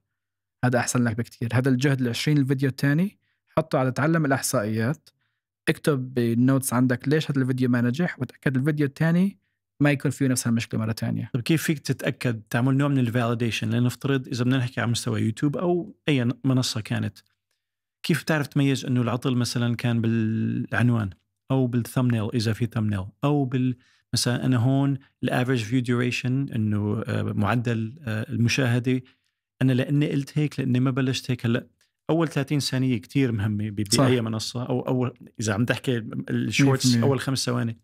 كيف تقدر تحدد تماما إنه سبب عدم التفاعل شيء ما؟ يعني أنا مثلا ما كنت ببتسم بالعادة ببتسم.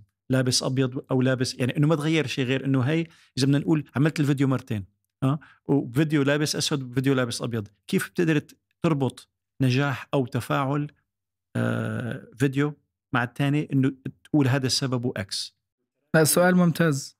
هو شغلة لازم الناس تعرفها. يعني وهي لما تعلمتها غيرت لي نظرتي على كتير منصات. كل منصة بتفرجيك ثلاث إحصائيات. هاي ثلاث إحصائيات هي أهم شيء للمنصة. فلما تدخل على اليوتيوب وتفتح حسابك في اليوتيوب أو حتى على الفان مثلا لما تفتح تطبيق الفان بتشوف عن ال deals tab وال creator store هي حاطين لك إياها بالنص. لأن هي نحن بيطلعنا فلوس أكثر ممكن تطلع لك أنت فلوس أكثر لما تروح على يوتيوب نفس الفكرة تدخل على القناة بفرجيك كم impression كم واحد شاف الفيديو تبعك على متصفح يوتيوب. إذا اختار يكبس عليه ولا لا. وكم نسبة الناس اللي ضغطوا عليه وهاد الناس اللي ضغطوا عليها كم حدا تابعك واللي تابعوك كم دقيقة تابعوك متوسطا فهالاربع إحصائيات عند يوتيوب أهم شغلة؟ نفس الشيء عن تيك توك. تيك توك ما في ضغط.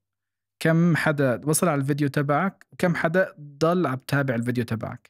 فلو قدرت تكتر نسبة الناس اللي عم تتابعك لأول عشر ثواني من 10% ل 50% الفيديو عندك رح يضرب.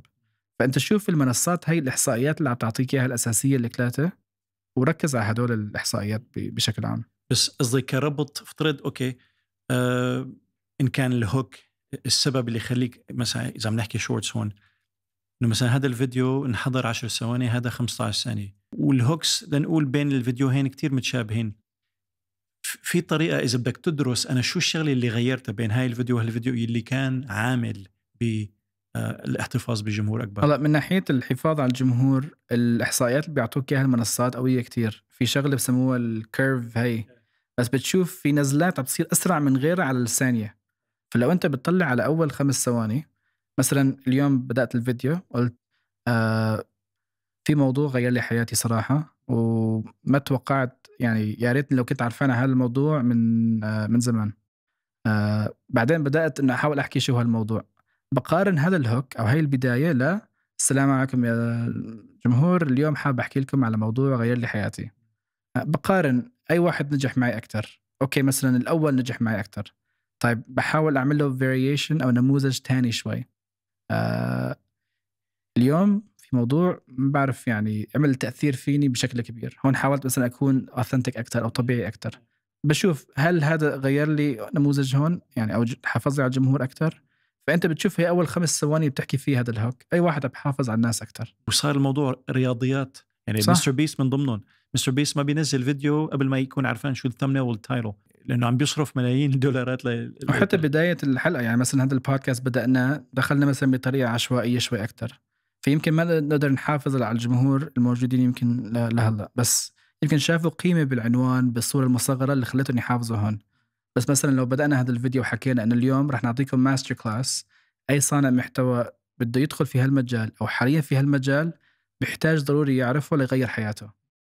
آه وجبنا لكم شخص له شغال في المجال هذا مثلا أكثر من 15 سنة اشتغل مع أكبر صناع المحتوى اللي ساعدهم يطلعوا من دخل 50 ألف دولار لفوق المليونين دولار بالسنة. فعرفت يعني تحط hook بهالقوة ما أنت already خلص أنت شايف اللي قلته هلا رح بلش نبدأ فيه. ك hook. مش الحال نحن ضم- ضمننا مبدئيا إنه رح نحافظ على عالم معين بس هيك يعني أعطينا الجمهور معلومات ك top level صح بعدين دخلنا بأشياء عشوائية بتعود الجمهور بتقول you know what مستعد أنتظر لأنه بدي أعرف إنه المعلومات القيمة رح. تجي آه، آه، آه. لأن بالأخير يعني أي حدا من الجمهور اللي عم يستمعنا لهلا يعطيهم العافية كمان عم ياخذوا من وقتهم ليطوروا حالهم. أكيد آه. فهذا جزء كتير مهم. وأنا وأنت تعلمنا كتير أشياء أونلاين من شخصيات كتير جدا قوية آه اللي علمتنا كيف نطور بحالنا نطور بالبزنس تبعتنا آه بسبب محتواهم. فهن عرفوا إنه جاي أنا أستمع فقالوا بدل ما أضيع لك وقتك خليني أعطيك أكثر قيمة ممكنة.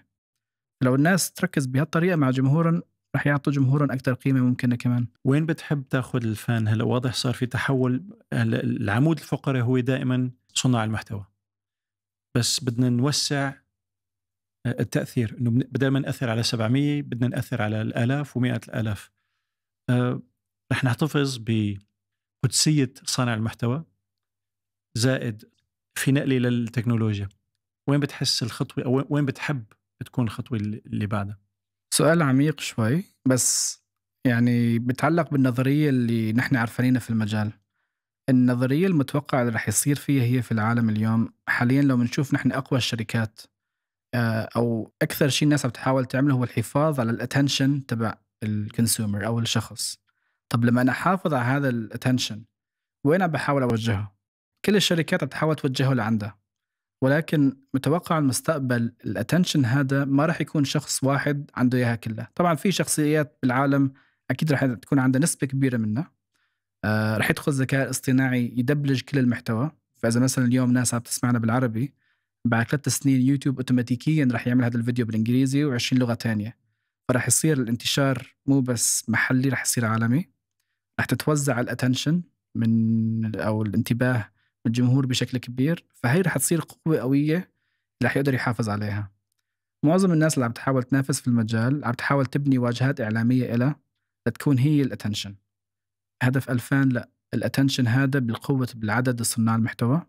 رح نعطيهم الأدوات اللازمة ليكون ال attention هذا جاي لعندهم هنن ونحن نكون الواجهة اللي نساعدهم يطلعوا أكثر قيمة ممكنة عن طريقها. أعطيكم من أقوى الشركات في العالم اليوم. آه مع احترامي طبعا كله لها بس شركة أمازون آه كثير منكم كمستخدمين لما تشتروا عن طريق شركة أمازون مثلا ما بتعرفوا إنه امازون فعليا عم تاخذ نسبة 20 يمكن في المية أو 30% من اللي عم تبيع المنتج.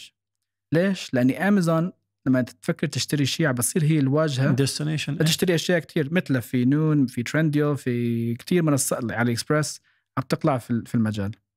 ولكن رح يتغير في العالم. الواجهة امازون رح تصير عم تنافس يعني سهولة عمل منصة e-commerce عم تصير أسهل وأسهل. في منصات مثل زد وسلة ساعدوا كثير ناس بالعالم العربي يعملوا منصات لحالهم فعم تكثر منتجات ال e-commerce طيب ال attention هي وين؟ ضلت على ال individual على الشخص. ممكن حتى شخص ما يكون عنده social media بس حواليه 50 واحد بيثق برأيه بموضوع معين. طيب ال traffic هي كلها عم تجي رح تصير تتوجه لصناع المحتوى رح يصير الشراء عن طريق صانع المحتوى أو جمهور صانع المحتوى. آه رح يصير آه الترفيه عن طريق صانع المحتوى ورح يصير آه مثل سموها decentralization يعني القوة ما بقى عند شخص عند العديد. ما متمركزه بتصير متوزعة بي. yes. فالفان هدفها تبني منصة تقدر تحتضن هل عدد الصناع المحتوى بادواتها وتعطيهم الأدوات اللي يقدروا فعليا يعني الذكاء الاصطناعي كمان رح يدخل في المجال. الذكاء الاصطناعي رح يعمل محتوى بشكل كبير. ما هذا أنا مشان هيك بدي أوصل لهي إنه شو انطباعك عن توظيف الذكاء الاصطناعي لمصلحتك أو لمصلحة أي شركة وشو المخاطر إذا في مخاطر أو هي اكبر مخاطر اللي بشوفها رح تكون كثرة المحتوى فرح يصير الناس اللي عم تتابع محتوى ما حتعرفوا تتابع الذكاء الاصطناعي. بس نحن بدنا نعطي الأدوات حتى لو ألف واحد عم تتابعوك ممكن تحط فيهم تأثير ويطلع فيهم دخل يخليك تعيش حياة كريمة. يعني جاي الذكاء الاصطناعي ياخذ وظائف آه عديدة. كثير كثير من الناس. طبعا رح تختلق وظائف تانية. بس أتوقع رح يصير ثغرة في المجتمع. وهذا الشيء يعني بصراحة يعني في ناس تحكي فيه بشيء إيجابي وله إيجابياته بس أتوقع رح يكون في سلبيات. آه لما أفكر فيها مثلا كثير ناس لسه عم يدخلوا الجامعات ويتخرجوا لو ما قدروا يبنوا شيء قوي وعندهم كواليتي ما حتقدر تستبدل من الذكاء الاصطناعي رح تروح عليهم فرص. وصناعة المحتوى مجال الذكاء الاصطناعي رح يدخل فيها. آه في كتير ناس أصلا في صناع محتوى عم بيطلعوا محتواهم الصوتي مو هنن. آه على ال baking powder في ناس بظنوك أنت الذكاء الاصطناعي بدل طريقة التصوير والإنتاج. أنا بحسها هلا أول شيء كنت أقول ليه طيب؟ هلا عم بحس إنه إذا لابد لبى ذكاء اصطناعي يمكن ما يحسوا إنه صار في أي اختلاف. ما بتعرف شو بيصير. فالفكرة إنه محتاجين نحن نقوي ال brand تبعنا. يعني مثلا عندي ابني آه لما نعمل مثلا آه. الله يسلمك يا رب. آه لما حاب إنه مثلا بده يسمع أغنية the wheels on bus مشهورة كتير في كتير نسخ. بس بعرف في صانع محتوى بنى الهوية تبعته اسمها Miss Rachel بتقدم محتوى للأطفال وموثوقة كتير. فبقول okay Google play wheels on the bus by Miss Rachel on YouTube فشو صار؟ بنت ال brand فرح يحتاج كل صانع محتوى يعني مشان يتحارب من الذكاء الاصطناعي يبني الهوية تبعته. آه وبنفس الوقت الهويه يقدر يفكر فيها بطريق كيف ممكن يستثمرها.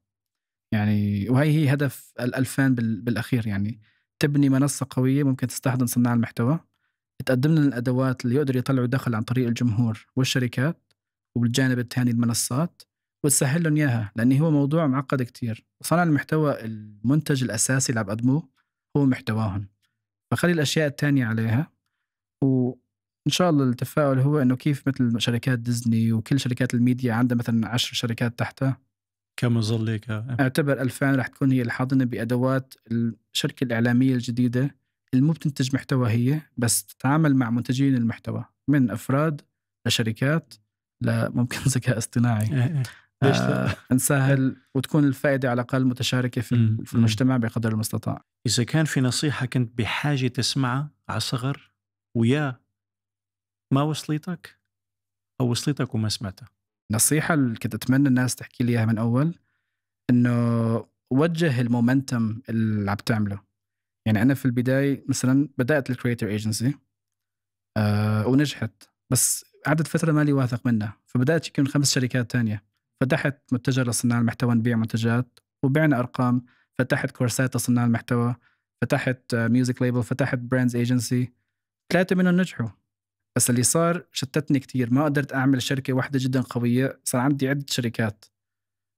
إلها إيجابياتها وسلبياتها بس هذا خلاني لأوصل للهدف منه يعني أسست الشركة بالإمارات من 2017 اليوم 2024 آه، لو كنت مركز بشغلة واحدة ممكن كنت عملت ال champion product أو أقوى شيء ممكن وبعدين ابني من ورا. ما تبني كل أربع خمس أشياء مع بعضها. فالطاقة هي عندك إياها ركزها بشيء تاني انجح فيها أعمل جول 1 achieved بعدين إبني عن طريقه.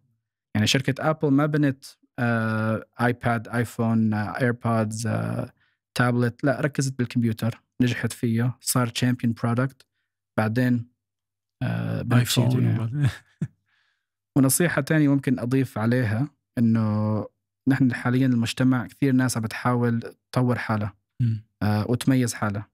فسمعت قصة آه، من حدا نسيت مين بالضبط كان بس كان عم بيحكي على ستيف جوبز مؤسس أبل آه، وحكى ستيف جوبز بمرحلة من حياته لما كان عم بأسس أبل آه، تخيل الشركة اللي نحن الواثقين كلها منها مشوه هو من.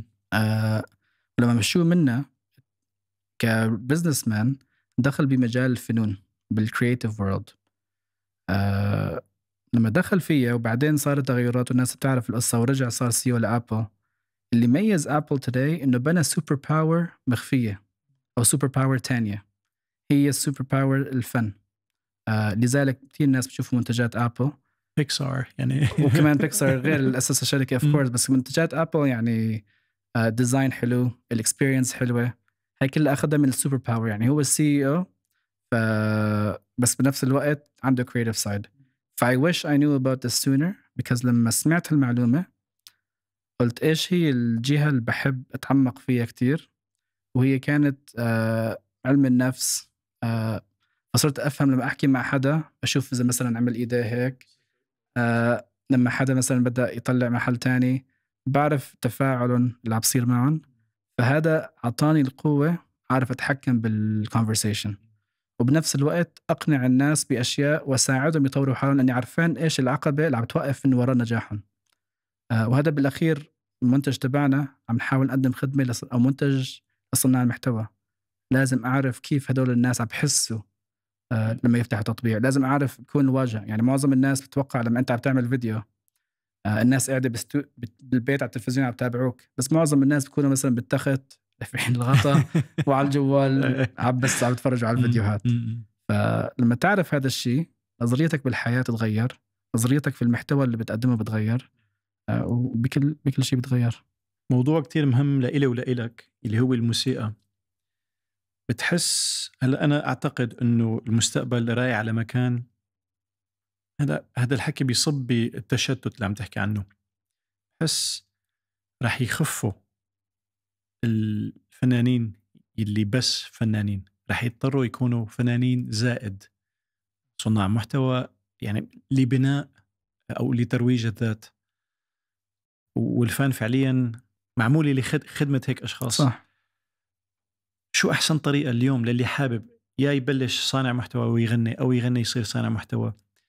كيف يعني شو النصيحة اللي ممكن تعطيها ليعطي لحاله مجال إنه يحقق الحالتين أو ليحافظ على بصمة ما تحميه من ال ال destinations الثانية لنقول سؤال سؤال قوي. ومع دخول ذكاء اصطناعي المنافسة رح تصير أقوى وأقوى. فرح يصير التميز هو تميز عاطفي. آه ليش الناس بدها تتابع العمل اللي أنت نزلته؟ لأني في قصة بهذا العمل في سبب أنا ليش بتابعه. فكتير من أوقات واحد بسمع شغلة بتأثر فيه لأني بيعرف القصة اللي وراها. مقارنة عم تسمع أي شيء على playlist عادي ممكن تعدي تعدي عليك. فهي النصيحة مو بس للفنانين أي حدا بده ينجح بحياته بشيء لو ما دخلت في مجال صناعة المحتوى وما بدأت تن- تصنع محتوى أنت المصدر ال traffic اللي رح تجي للشيء اللي عم بتقدمه يا شيء خيري يا شيء فني يا شيء ترفيهي ما رح يكون عندك traffic source لأني بقول لك كمية الأعمال اللي عم تنزل على سبوتيفاي أو المنصات هذا يمكن أقل من 1% عم بيجيها فوق الألف مستمع فليش؟ لأني كثرة المحتوى طيب أنت كيف ممكن توجه ترافيك؟ اصنع محتوى كي صير كصانع محتوى قدم محتوى بتعلق بقصتك بالعمل اللي عملته ووجه ترافيك لهذا العمل صدقني يعني أتوقع الشغلة كتير ناس ما لها عرفانه إنه نحن متعودين على أسماء ما- معروفة. ولكن الجيل الجديد اللي عم بيطلع اللي عم بيعرف يستعمل الأدوات وعم بيشتغل بهالطريقة رح يسبق كتير من الفنانين والشخصيات الإعلامية صار لهم زمان طالعينها. والناس اللي عم لسه ناجحين و relevant في المجتمع لأن يعرفوا يتواكبوا مع ال trends الجديدة. فمن جميع الأوقات يعني مثلا في كتير فنانين يعني في فنان مثلا توم كروز آه، كتير منا تابعنا له أعماله. بس بنفس الوقت لو ما حكيت لك عنه ممكن نسيت الشخص. عرفت كيف؟ لو عرف يتواكب مع مجال ال social media رح يضل more relevant نفس الشيء للفنانين. آه، أنت لما تفكر بشخص كنت تحبه كتير بس بعدين صح والله صار زمان ما سمعت لهذا الشخص. ليش؟ صاروا out of mind بس لو كان كل فترة عم بنزلوا شيء محتوى بحياتهم بقصتهم بال journey تبعتهم رح تضل عم بتتابعهم وبالعكس الناس صح في مجتمع في أشياء سلبية كتير بس المجتمع صح فيه أشياء إيجابية كتير وبتحب تدعم حدا بمسيرته. فلو أنت بتغطي مسيرتك اللي عم تحاول تعملها آه الناس لما تنزل العمل رح يكونوا من أكبر مشجعينك. آه وهذا الشيء جدا جدا مهم. فأنت بأي مجال داخل فيه ضل عم تحاول تنشر محتوى وما تكون متعلق بأنا فنان هذا مو مو شغلتي. لا أنت بالأخير آه بدك تنافس. إذا بدك تكون بس فنان ومو شغلتك العمل تبعك نسبة نجاحه بتنزل من 50% ل 5% وممكن تنجح بال 5% هي. بس لو ما استمريت على الفورميلا الصح بصناعة المحتوى بعمل أثر في المجتمع بعدين تقديم عمل فني بنفس الوقت ما راح تنجح. طيب موضوع ال over saturation يلي هلأ في منافسة كبيرة فاحتمالية إنه حدا يمل منك شوي خفيفة لأن صار في خيارات كتير. بس كيف أو شو بتنصح الشخص يعمل إذا بده يحقق نوع من ال يعني if you overshare يعني بدك تحافظ على بين إنك you're oversharing وفي شوية privacy على خصوصية. آه، كيف بتشوف الموضوع أو كيف بتقدر تحافظ تلعب على موضوع آه، كل شيء بوقته حلو هالقصص هي؟ في قاعدة بتقول لك إنه الناس ما بتتذكر شو حكيت لهم بس بتذكر كيف خلتك تحس بهداك الوقت. فكتير واحد لما يسمع مثلا عمل أو أغنية أو إيش ما كان بيجيك إحساس معين. فالفكرة إنه هذا الإحساس حاول تضل تشاركه مع جمهورك وما ضروري بوقت كبير بس يخلي يميزك. يعني في ناس أنا بتابعهم لما مثلا بكون بوقت بالشغل وبعاني من أشياء معينة ومضغوطين في ناس بيعطوني تفاؤل في بيعطوني الاكسايتمنت والحماس في إنه ضل أثابر. لأني بشوف شوف الطاقة اللي عم بيعطوني اياها فبرجعني بنفس الوقت. معي كثير ناس بتابعوني لأني بيعرفوا قصتي من من بدايات فبتحسوا لسه عم بتفاعلوا معي لأني هي قصة real life story عم بتتكون فبنفس الوقت يعني لتتميز الذكاء الاصطناعي ما راح يكون في له ال emotional connection وفعليا اللي عم بصير مع العالم آه العالم مع كثرة الإنترنت عم بصير منغلقة شوي أكثر يعني عم نظن نحن عم نتواصل مع بعض بس فعليا ما عم نتواصل مع بعض. عم نبعث صباح الخير على الواتساب. فعم بتدور الناس هي على emotional attachment برا. ممكن تكون على الإنترنت. فلذلك بتشوف الفعاليات لما يجوا صناع محتوى بأي مكان آه، الجمهور بيركض عليهم لأني يعني كثير بيكون أوقات مع صناع محتوى بيجون الجمهور بقول له واحد إنه أتوقع أنا وأنت بنكون أحسن أصحاب يعني أسلوبك أنت هيك كثير شبيه لإلي وهالأشياء. الجمهور هذا بيكون نيته خير. بس للأسف صانع المحتوى عم بيجي نفس الحكي كثير فما عم بيعرف يعبر, يعبر بنفس الشغف والاندفاع وكذا. فبالأخير يعني ضروري تأثر في مجتمعك أو جمهورك بطريقة فريدة لك وهي رح تخليك تحافظ عليهم. فلو أثرت بطريقة كويسة ما بتحتاج كل يوم تنزل. في ناس بتختفي بعد سنة وبترجع تنزل مرة ثانية بس لاني قدروا يبنوا هذا الأثر من ستاندرد قوي بطريقه المحتوى أو بالقيمة اللي عم بقدموها. يعني مثل أحمد الشقيري آه كثير مثلا اللي تربوا بالسعودية تحديدا تابعوا برنامج خواطر العشر سنين. آه مثلا هلأ ما بعرف شو عم بسوي بالضبط بس لو رجع بعد سنة رح يقدر يضل ناجح لأني بنى أثر كتير بجيل كبير. آه أو ترند مثلا آه حلوة شفتها إنه سبيس تون كثير من لما كنا صغار تربينا عليها. ف وتابعنا آه، مسلسلاتهم وأفلامهم. فاللي بصير بقول لك شفت طلعت ترند قريبة إنه أنتم يا جيل المستقبل. آه وينكم حاليا؟ عمل هذا أثر كبير في المجتمع لأن سبيستون خلاك تحس بشيء بطفولتك بهذا. فركز على جانب ال emotional المشاعر إيه، إيه. وهذا ما معناته إنه over share وأحكي معلومات أكثر لا أكيد هي شغلة يمكن من أهم الأجوبة اللي بسمع بما آه، يتعلق بهذا الموضوع كثير كثير بمكانه. موضوع ال mental health قبل كان في تابو إنه إنك تحكي تعبان كذا. تجاوزنا هاي المرحلة إنه انه تابو بس خاصة آه، الضغط المثابرة و يعني كثير صعب الواحد يحافظ على سوية معينة و و و وخاصة اللي بيشتغلوا بصناعة المحتوى يعني بيمروا ب roller coaster من المشاعر بيكونوا متفائلين كتير محبطين كتير آه، شو الدروس يعني من خلال أنت يعني تعاملت مع العديد من كبارية المؤثرين على المنصات؟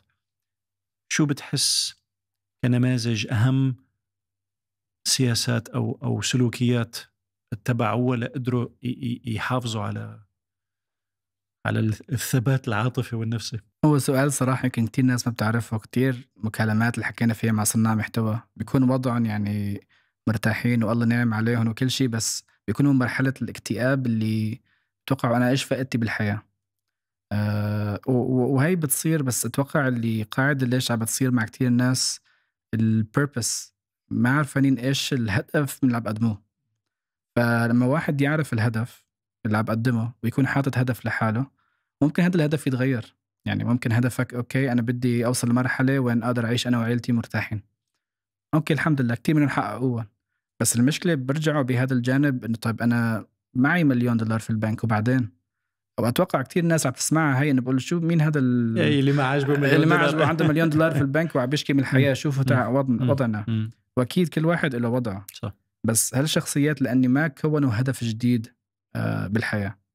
يعني وهي شيء أي أي حدا بيعاني فيه. يعني مثلا لما تعدي معي ظروف واحد شوي إنه تعب أول شيء بتذكر إنه الله اللي حطني في مكان أنا فيه انه حاله نعمة كبيرة. و privilege يمكن مئة ألف واحد بتمناها. فلازم أكون أول شيء thankful على هذا الموضوع. ثاني شيء لازم أعرف إيش هو الهدف اللي عم بخليني فعليا أثابر بهذا الشيء الفلوس بتروح وبتجي. أوكي صار معك 100 مليون دولار صار معك whatever. ممتاز. بس الموضوع طب إيش هو الهدف اللي عم تحاول تكونه؟ فالكل واحد شفته نجح عرف يكون هدف آه، بمسيرته. آه، من صناع محتوى وهذا قدر يخلي حتى علاقته مثلا مع اللي حواليه أوضح. آه، أنا عندي هدف هاي ال milestone وبغيره. أنا حاطط هدف لحالي بس الهدف اللي دائما بحكيه للناس ما تعمل له share لأني دائما شو السبب؟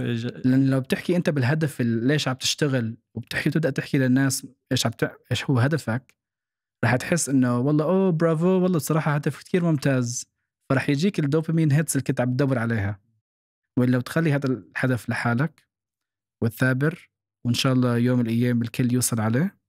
آه رح تحس بشعور يمكن ما حدا حس فيه. يعني في فيديو انتشر لملاكم آه بظن من تايلاند. ما بدي أخطئ في الموضوع بس نجح. ف وحكى بكلمته لما ربح ال... كان اكل ضربات وعم يحكي قال أنا بدي إياكم تحسوا يا جمهور بالشعور اللي أنا عم بحسه اليوم. لأني هذا هو الشعور يعني ما في مثله. قد ثابرت بحياتي إن شاء الله كل واحد منكم يحس بهذا هو الشعور. وهي الشعور الكل واحد فعليا بحاول يعمل شيء حاطط هدف بباله ليوصل له. آه وهذا بيساعدهم شوي يتجاوبوا مع ال mental health والضغط اللي عم لأن بالأخير هذا الهدف sometimes بيكون بيستاهل. إذا ما بيستاهل معناته تطلع على وضعك الحالي. ممكن أنت اكتفيت ويغير هدفك لشيء تاني. هو موضوع مو بس مثابرة وبناية ال business في كتير ناس تكون رضيانة على شيء أقل بكتير. ممكن أنت رضيان عليها. بس ما تدور على ال dopamine hit وال rush بشيء تاني حاول حط هدف. فعليا يعطيك هذا الشعور. مشكور جدا محمد. يعطيك العافية زين دخلنا بمحادثات عميقة شوي. لا يعني لا يمل ابدا وبحس بيلقى نعمل إسا حلقات ممكن نفوت بشغلات تكنيكال أكثر أو شيء له علاقة ب أنت كسي إي أو هاريجر انفستمنتس وهالقصص هاي فبحر بحر وبتشكرك كثير على كل شيء شاركتنا إياه والله يعطيك ألف عافية. بالعكس شكرا لوقتك. يعني كثير استمتعت وإن شاء الله يعني there's a big future ahead for you كمان إن شاء الله. Thank you bro. Appreciate it. Cheers.